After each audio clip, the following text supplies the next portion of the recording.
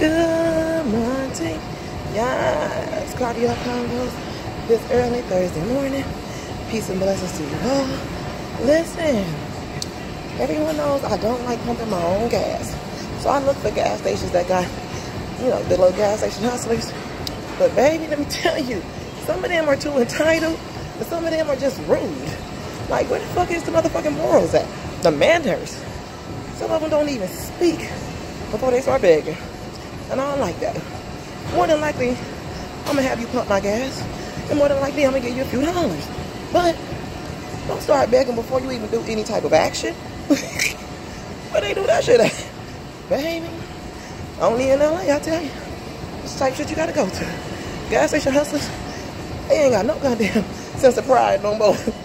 before they used to ask you to pump your gas first, before they just start begging. Y'all don't get no, no your piece of blessings.